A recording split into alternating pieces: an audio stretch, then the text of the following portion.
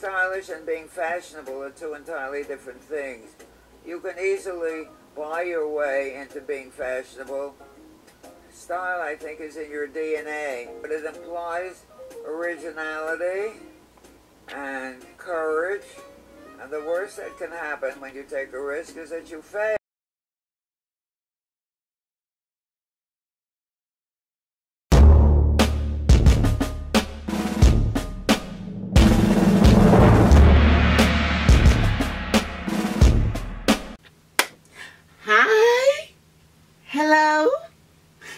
I know it's a recession. So I want to bring you some, you know, good vibes. We are going to beat this recession. Welcome to my channel. If you are revisiting me, please subscribe below. I'll appreciate it. And to my old subscribers, you're not old. I have a special place in my heart. One of my valves beat really, really special for you.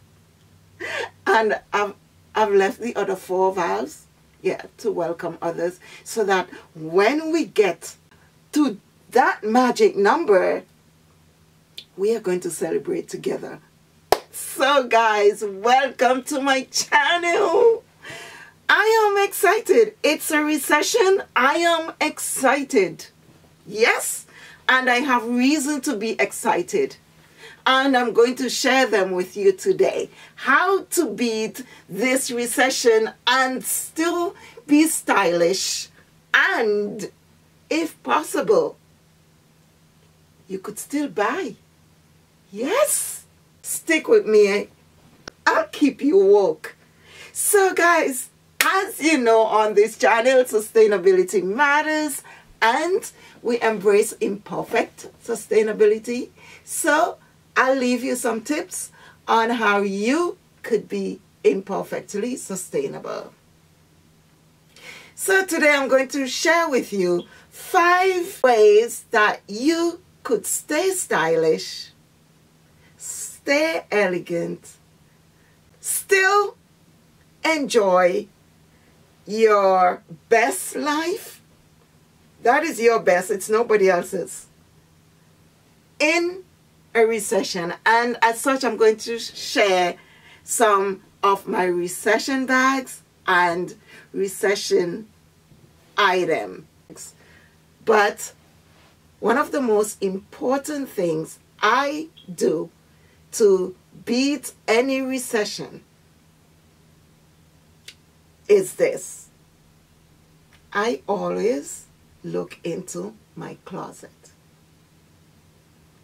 And guys, because it's something I am always doing and encouraging, I go a step further.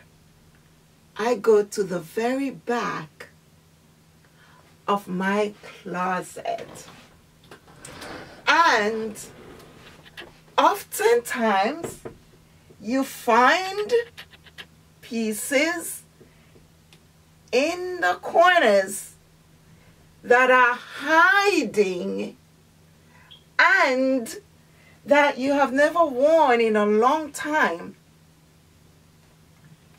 That you could spruce up and still look chic, still look elegant, still maintain your stylishness because it's not about fashion. No. You could buy your way into fashion, but style, it's in your DNA. And I love that quote from this stylish woman. Ah, she's amazing. I love her because it's so true. I am here to tell you that you don't even have to buy. The first thing that you have to do is go into your closet, find something that you have never, that you haven't worn in a long time. And I'll show you something that I have not worn in a long time. And I'll style it up for you today. This short dress I found at the back. I also found this one. Two short dresses. And guys, I haven't worn these in ages. Well, of course, it's green. So I'm going to show you how you could really enhance this piece. It's bland. Yes, you look at it, you may not even find any joy. But here is number two. If you still want to remain stylish, there's another thing you could do, which I always do. If you absolutely must buy something to enhance your outfit, to make it look cute, to beat this damn recession, choose your favorite accessory. It could be a brooch. I am not ashamed to wear this brooch every second that I get the opportunity. Because I paid good money for it and I'll be wearing it to death to that so one of the ways that you could really enhance an item and I've shown you guys a million times in a time of recession is little accessories such as a brooch.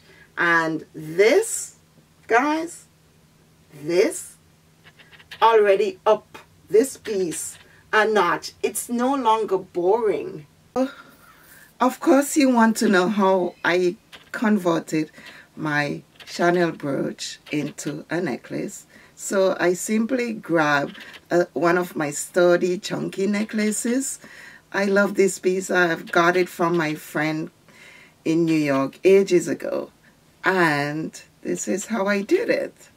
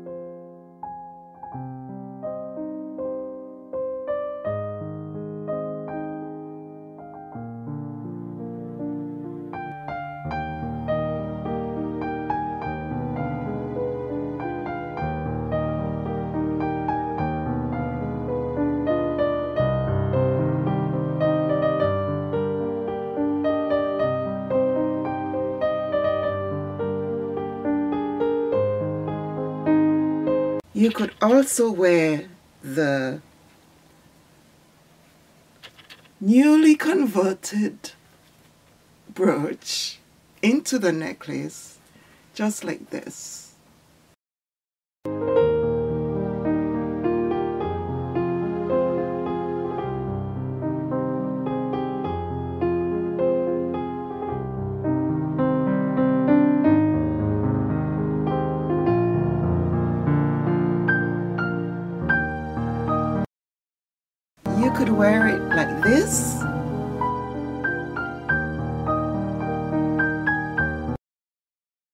You could add the brooch to a longer necklace.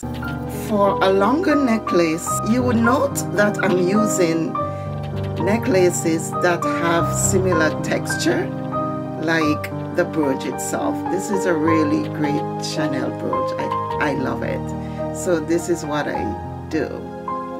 So you could simply, for tinier ones, you simply add this, like so.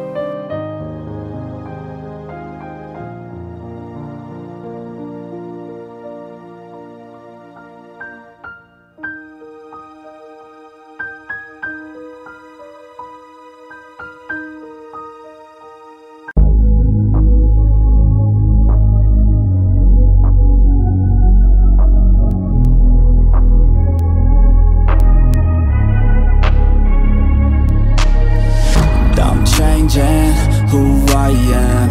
I'm making a new plan Rearranging my life and I won't look back ever again. Yeah, you ain't see me activated You better hope that you never see And this is actually one way that you could wear your brooches if you don't want to place holes in your clothing items because that is often a concern of some people. I am quite mindful of which clothing item I wear my brooches on because yes, indeed, it leaves holes. But if you wear it on thick cotton or linen or tweed, wool, those are perfect to add your statement brooches and be stylish in a time of recession. These little pieces could actually make you look so stylish and elegant. Another thing I also do, something that is a statement, actually an exclamation point, something that exclaimed to the world that I have arrived. I'm, I'm not playing in this recession. I intend to still look my very best. A belt. It, it could be something very simple, whatever your style is. It could also be something that you could recreate, improvise. If you have necklaces that look like this, this is a gorgeous statement necklace that I wear, often wear like this. You could convert this into a belt. me agitated I think about my actions, plan to just as gorgeous. I've shown you guys several times how I have improvised with belts to actually incorporate them into my style.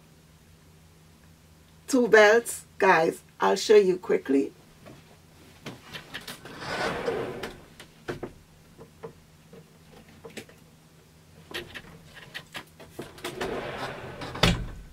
So I have two belts and this is one of my oldest tricks in the book when I want to have something that looks gorgeous. As you see, inserted these two ends together, wrap it around like so, twice, and you could choose where you put either ends. And there you go.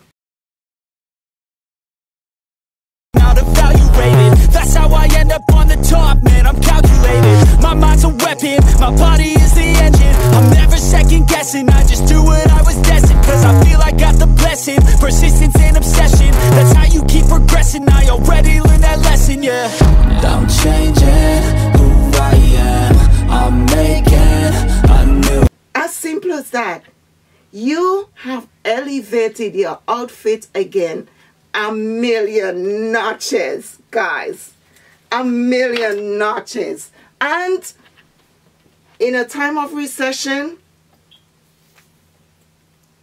you don't need to go anywhere than in your closet and be creative with what you already have. But if you must, I went on the second-hand market and I got this. I believe I paid $15 for this. plan Rearranging my life and I won't look back ever again. You can't stop what's moving. You can't stop what's moving. I'm changing my life and I won't look back ever again. No fear, see clear, you deserve to be great. I know it feels like things get in your way. Push